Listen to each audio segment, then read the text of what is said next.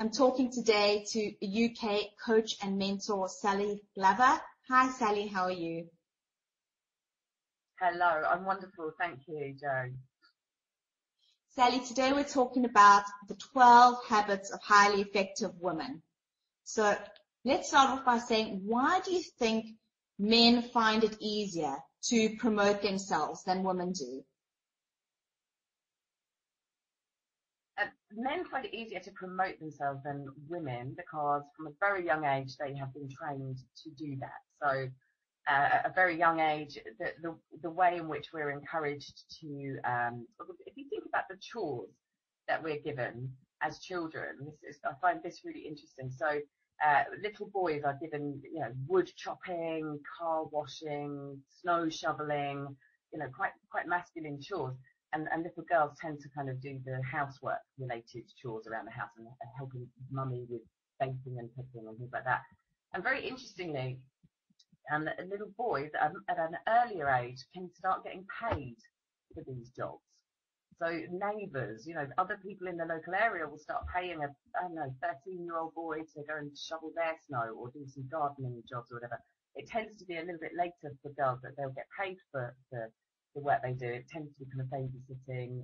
Uh, you normally 16, 17 would be an age where you entrust your children to a neighbour's child. So from a very young age, but boys get used to being financially rewarded for their efforts, whereas girls don't. So they get used to asking for stuff. They also play games um, that require them to to make up their own rules and to and to, to kind of fight with one another to win. You know, whereas girls are taught to play nicely. So this translates over into our business lives when we're older. So boys find it much easier just to, to it's a sport for, for, for men. It's a sport, negotiating, they'll kind of battle it out, tough it out, ask for this, you know, go be cheeky, ask for a bit more, and then go down the pub together. Whereas for women, we want to preserve the relationship. We worry about offending the other person. Um, and we don't want to be seen as pushy or arrogant or, um, you know, that we, that we love ourselves too much. So, so we, we hide back and wait to be noticed. Now, you run a program called Scarlett Program where you talk about the 12 habits of highly effective women. Tell me a little bit about um, some of these habits. Sure.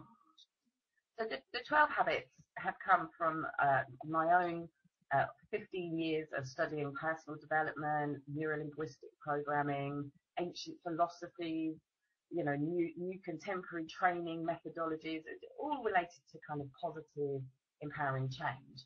And, uh, and so I pulled together some themes that kept emerging. I kept seeing these same themes. And I know when I live from a certain place, I'm much more powerful and effective, confident, able to ask for things, um, able to, to burst through procrastination or feeling stuck.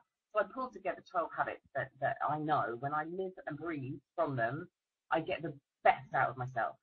Um, so, so one of those that this one relates a lot to women is, um, is giving up waiting for the right time, thinking you have to be perfect and the idea that you're not quite ready, taking small steps in the right direction every day and saying yes. Now, I love that habit. And again, this is so pertinent to women. We think we have to be perfect before we take the action or the step. Um, and you know, bad news, ladies. If we wait to be perfect, we'll be perfectly dead. So you've got to just kind of put the foot forward and polish stuff up along the way and get used to, you know, never being, give up perfectionism really. Um, but again, we use this as an excuse not to get on with stuff because it keeps us in our comfort zone. I'm just polishing it up and making it perfect. So that's one of my favourite ones. Um, and another one, this one's really pertinent to women, is about saying no, meaning it, and asking for support. So giving up micromanagement, silencing the inner control freak, so that we can do less and have more. And again, guys are experts at this. Guys have really learned to put in a good, good, good piece of work, but actually the, the biggest um, crux of what they do is then to promote that work you know, um, and get other people doing things. There's no no qualms at all getting everyone else galvanised uh, and doing stuff. So yeah, I work with women to take that habit on and start being kind of calmly uh, taking the reins from from a more more remote position. Tell me a little bit about how the program works and who it's specifically aimed at. Sure. So uh, the program is aimed at uh, highly motivated women. So this is for people that know that they're on a path, they want to achieve their dreams, and could benefit from the support of a team of cheerleaders and a mentor and some good habits and distinctions to, to come from. Uh, it's a three-month program. We kick it off uh, with an event called the Motivation Makeover and another event that I have called Ladies Launch. So one of those two avenues is the entry point. We get very clear on people's on women's goals. So the real goals, like the ones from the heart, not the what I should be doing. Um, and then from there, there's a, a, daily online forum, which is private and secure. Um, and we, I issue one of the 12 habits uh, once a week.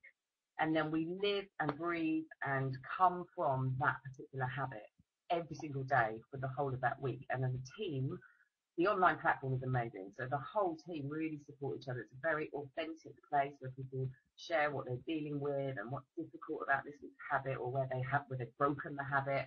And we just really rally around each other and support one another. Um, and then people have uh, one-to-one coaching once a fortnight where we'll either be working on business goals and, and getting more clients and tidying up the website and all the things that need to happen, or getting up the career corporate ladder, depending what that, that person's goal was. Salli, just one final question. What do you think the key is um, to, you know, to maintaining your motivation, to, to, to keep it ongoing um, once you've finished a course or something like that? Yeah, really great question. Uh, well, it's all about the habits. So um, I, am a big fan of the positive psychology movement and um, and have studied a lot about that. And it's, proven in science, it's the tiny little things that you do. So I, I always talk about um, showering with success in the morning. So getting up, getting out of bed and making those first five minutes, ten minutes count. So being in the shower and rather than the little voice in your head kind of like, oh, I've got to do this, I've got to do that, or I haven't done this, I haven't done that, and immediately setting the day up with all this like noise and, and being hard on yourself. The, the, the shower is the perfect opportunity to get clear about all the amazing things that are coming up, to acknowledge yourself for what's working, um, you know, and to be be kind, be kinder to yourself. That that kind of setting up of your day will will make the whole rest of the day. It's much easier then to do the things that you said you would do. And and I really cannot emphasize enough the uh, having having people around you that are you know supporting you, cheering you on, and holding you to account, publicly declaring your scary goal, and then having a team of people that you'd be embarrassed if you didn't fulfill on it, and also who will hold your hand when you want to bail out and you want to sell out. Thank you, Salli. Thank you so much for talking to me today. Thanks, Joe. You're welcome.